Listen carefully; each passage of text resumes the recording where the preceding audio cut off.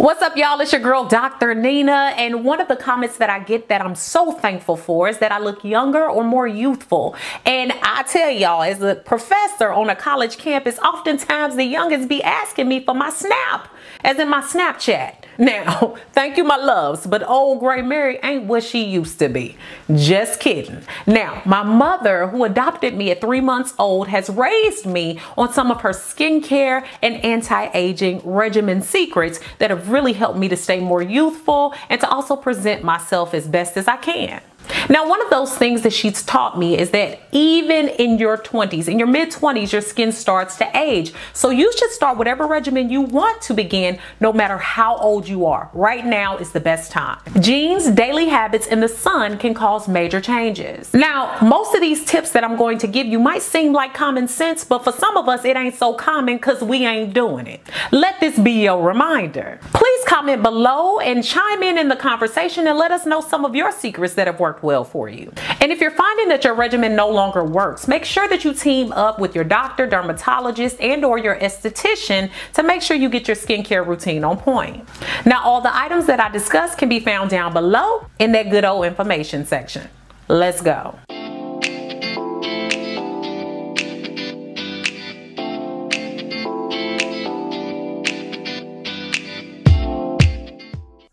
And y'all, don't forget to thumbs up this video if you like it, comment, share, and subscribe. And also click on those notification bells so you can know when I upload on Thursdays and Sundays. Make sure you also check out my Now That's Life podcast, which is now live. And you can check it out on all your major podcasting platforms. Links to my podcast can be found down below in the information section. Now, the first thing I was taught was to tend to dry, dusty, and ashy hands. Now, no name calling around here, but we just calling it like we see it. I'm no stranger to forgetting the moisturizer on my hands and getting that powder between the fingers look. You know what I'm talking about. Hands tell your age very quick. The skin there is thinner with less fat there to plump it up underneath. Fight that by keeping hand moisturizers near for when you wash your hands or when you go out in the elements. Look for ingredients like alpha hydroxys, glycerin, hyaluronic acid, safflower seed oil, and shea butter. Y'all know that I love Eucerin and Dr. Teal's lotion because they are very much inexpensive, at least the Dr. Teal's. The Eucerin is a little more pricey,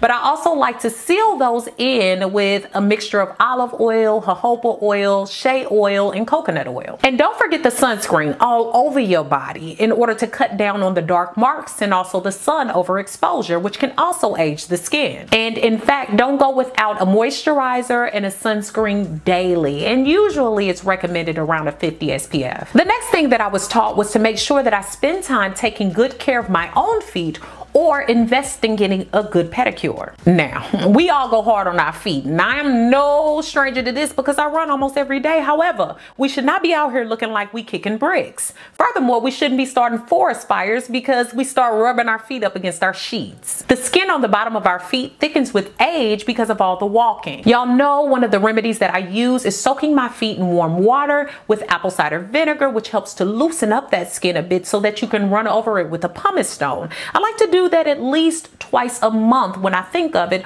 or just simply go and get a good pedicure. You can also use thick creams. I love Curel cream or petroleum jelly to help to soften those thick, tough heels. I also love to put on socks overnight like my aloe vera socks that Bay got me that really help to soften up the feet overnight so you wake up to nice feeling feet. So make sure that you're taking good care of those toes and feet. So another thing that I was taught to do that I did even before I had a nice amount of money was make sure that I invested in my mouth and in my teeth. Having very stained teeth can make you look older. I invest in a good toothbrush as well as over-the-counter whitening toothpaste or just overall healthy toothpaste. And I've linked some of my favorites down below in the information section. I've even used over-the-counter whitening strips or gels. When I needed that extra oomph, I went to the dentist. And by the way, when I talk about the dentist, I go at least twice a year, every six months for a good deep cleaning to make sure that my teeth are intact and in order and to check for any problems because sometimes you get a little problems in there. And years ago, some of you all might remember this, I had something called a gummy tuck or a gingivectomy, where is they took some of the tissue from my teeth around the gum area that was excess tissue in order to make sure that more of my smile showed through, which gave me a more youthful appearance. I also have teeth whitening trays that I use that are very expensive. So use the over the, over the counter stuff until you can't. But basically those really were created by my dentist to help me to keep my smile white. I use it at least once a month. Now besides brushing my teeth twice a day, which is important, and flossing as well, I keep my lips exfoliated, moisturized, and also hydrated. I moisturize them daily with stuff like vitamin E, shea butter, and petroleum jelly if needed. And I drink all the water to hydrate and moisturize overall. So another thing I like to do is make sure that I take time to properly groom my excess facial hair. Yes, hair under the chin, the mustache, in the nose, all of that can age us. And I should definitely know I can grow nose hair like a caveman. I love to get threaded for my facial hair. So I go in and I thread that mustache area, all these areas around the mouth, if I have anything on the chin. I also like to make sure that at home on my own, I take time to use my special nose hair clippers and clip that down really well at least once a week. This helps to give you an overall more youthful and groomed appearance. The next thing I do is I like to make sure that I don't overwash my face or my body. This could cause the D&D, dry dustiness. I learned for a soap to remove dirt, it must dissolve fats. So it's important to make sure that natural fats are replenished in our skin. Certain people, especially as we get older, can have a hard time replenishing this. So it's important to add it back with a hydrating facial wash or a body wash that's really gentle. No more, and I know some people need to take at least two showers a day or wash their face twice a day, but keep it to a minimum. And also as far as exfoliating the face and the skin, I like to keep that to only twice a week, either by mechanical or a topical exfoliator. And like I said, I like to make it a point to use gentle cleansers across the face and body to give it a nice glow, finish, and youthful appearance. Y'all, I'm especially more deliberate with moisturizing my face as well as my overall skin. It protects and improves my skin, especially since I have more combination skin and it can get oily or it can be dry or it can be both. So even if I have oily skin or breakouts, I use a oil-free lightweight moisturizer throughout my day. And if it's more dry in a season, then I like to make sure that I put it on more than once in a day. I also like to pat it on nicely even when my skin is still pretty damp. That's why I love to use paper towels, guys, instead of towels so that it doesn't put bacteria back into my skin and it makes it easier for me to just pat dry and then put the moisturizer on.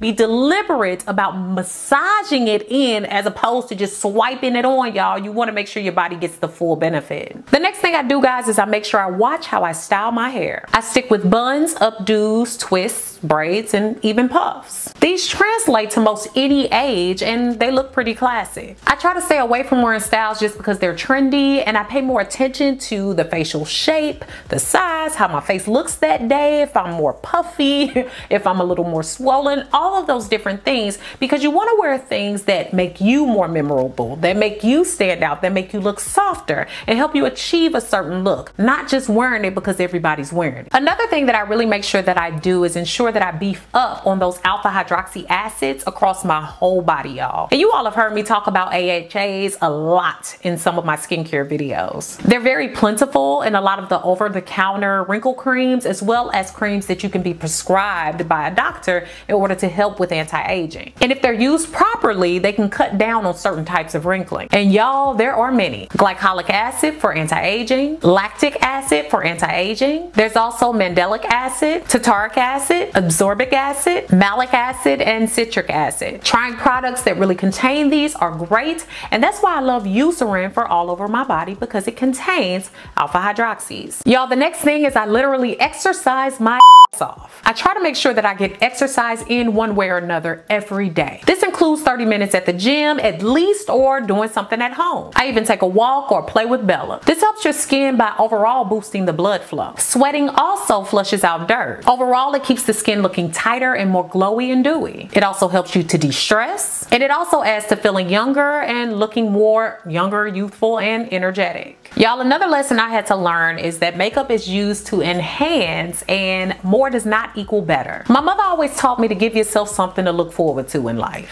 Don't use everything all at once, especially if you don't necessarily need all of it. Avoid super thick foundations that can cake into fine lines. I also make sure that I make good investments in my lipsticks and don't allow them to bleed. And I've had to learn how to line my lips so that I don't have bleeding lipstick all over the place, which not only makes you look like a clown sometimes, times, but also just makes you look older. I've grown out my brows whenever they start to get sparse, and I know I get clowned for the thick eyebrows, and you all have seen them without any kind of help. They're just thick and bushy, but that actually adds to a more youthful look. I even wear a little bit of concealer on the days when my sleep game ain't up to snuff. Overall, I try to make sure that I step out looking polished and natural. And whenever I need some help, I make sure that I seek a help of a professional, just like you would with your skin. Make sure you check out some of the people like at the MAC counter or at different places that can teach you different things. I went to a makeup artist and learned from some of her courses and classes.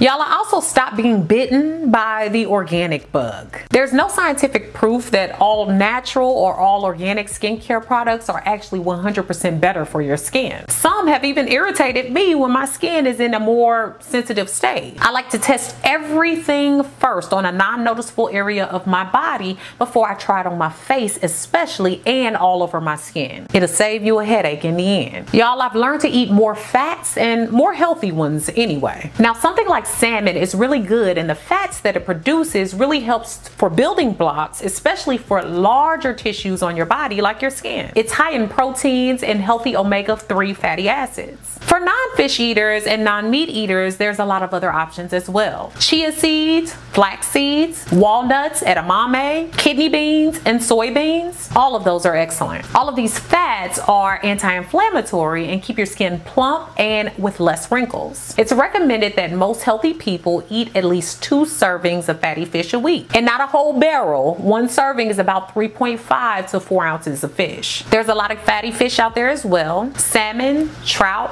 herring, mackerel, albacore tuna, and even sardines. I also eat fruits, vegetables, lean proteins, and whole grains. The next thing I do is I make sure I sleep on my back. I sleep hard, y'all, so it's nothing for me to wake up looking like I've been in a jungle fight with lines on my face. Also, did you know that causing pressure to the same area of the skin can reduce the collagen in that area, which actually helps to plump out your skin and make it look more youthful. Sleeping on your back keeps your skin from rubbing up against your pillow and causing those permanent damaging lines. This position on your back can also help with your lines in your neck because it stretches your neck a little bit more, keeping it from creasing so much. While we're talking about sleep positions, there's another huge reason why I choose to sleep on my back. I don't know about y'all, but I pay really good money for my face creams and neck creams, and I certainly don't want my pillow benefiting more than me. Sleeping on your back can help avoid that. This also helps to cut down on breakouts because you're not resting your face into your pillow, which could be transferring bacteria and debris onto your face. By the way, y'all always ask about my silk pillowcases, and I made sure that I shared them down below in the information section. They're in my Amazon shop. And if you're getting unexplained acne breakouts, that could be the cause. Resting your face down in your pillow is not good for you, especially if it's not getting washed enough. So I wash my pillowcases at least twice weekly and I don't snuggle my face in them. Another trick is I learned to make sure that after I put on my nightly face cream, I sit for at least 20 minutes, allowing it to soak in before I lay down. I also take care of my eyes and I get the rest that I need when I'm able. And I know it says to get at least eight hours, but I get as much as I can. Also, this might seem silly when it comes to eyes, but make sure you're getting your contacts and your eyeglasses updated at least yearly. Know what your prescription is because when you squint a lot, you're causing wrinkles. And y'all, I live in Houston. That's where the sun don't play. So I wear sunglasses to protect from all those UV rays. I also make sure that I do eye masks as well as general masks. And I also make sure that I get general medications for allergies and things like that when my eyes get puffy. Believe it or not, those red, puffy, swollen eyes can even add to your age. Y'all, I definitely definitely get with the antioxidants and I make sure that I eat up and wear my vitamin C. Antioxidants are vitamins and compounds that protect the skin from free radicals and overall damage. And that's why I eat a lot of fresh fruits and vegetables because it helps to boost the antioxidants from the inside out. And the more colorful, the better. I also apply creams and serums that are rich in vitamin C. And vitamin C is necessary for normal collagen production. And y'all know I've shown you videos where I use vitamin C all over my body because it helps with a lot of those dark marks, those wrinkles, fine lines, all of that. And I enjoy using it on areas like my thighs and my calves, all over my belly, my chest, even my face, everything. Ask your dermatologist about products that they recommend with high versions of vitamin C in them. Now y'all, here are some bonus things for you to remember. I learned to get a professional involved with my skin early and I try to make sure I nip problems in the bud as they happen. Hormones, hair products, and stress can cause the skin to look ridiculous. And a dermatologist or an esthetician are excellent in helping you figure out what your skin needs most. The next thing is I love to do what I love. I thought about my path for my future and I've shared a lot of videos about my career with you guys, but I work a job that I don't have to be at all day in and day out. I don't work a nine to five. I can be in and out of my office as I need. I only teach on Tuesdays. I'm in and out of my clinic. I don't have to be at work every day. I'm a little bit more mobile and flexible, which gives me a lot more to look forward to. I'm able to run my business. I'm able to do things that I enjoy. I'm able to interact and network with those that keep me youthful, happy, and healthy. The next thing is to make sure that you're not in the sun too much. And while we need vitamin D, we don't need to overdo it with our skin because it can age it. I don't care how brown we are. Maybe consider taking a vitamin D supplement, which is something that I do. Smoking, nah. Excessive drinking, heck nah. And make sure that you're always protecting your eyes with sunglasses and taking the best care of all of your extremities possible. Now, I hope you guys have enjoyed today's video about anti-aging and skincare secrets that have really worked for me, passed down by my beautiful mother, who is 70 years old, 71, my goodness. Um, make sure that you comment, share this video with someone who can use it, and subscribe. Thanks so much for watching, guys. Beautiful brown baby doll. Peace. Special thanks to Jason Bowie of Trinity Media Solutions for co-producing and filming today's video. His information can be found down below in the information section. Thanks so much for all the love and support over on my new website. If you haven't already, go ahead and check it out and join me for new ways to interact with me, giveaways and prizes, weekly emails, as well as my free 8-day supernatural video course, which is free when you sign up.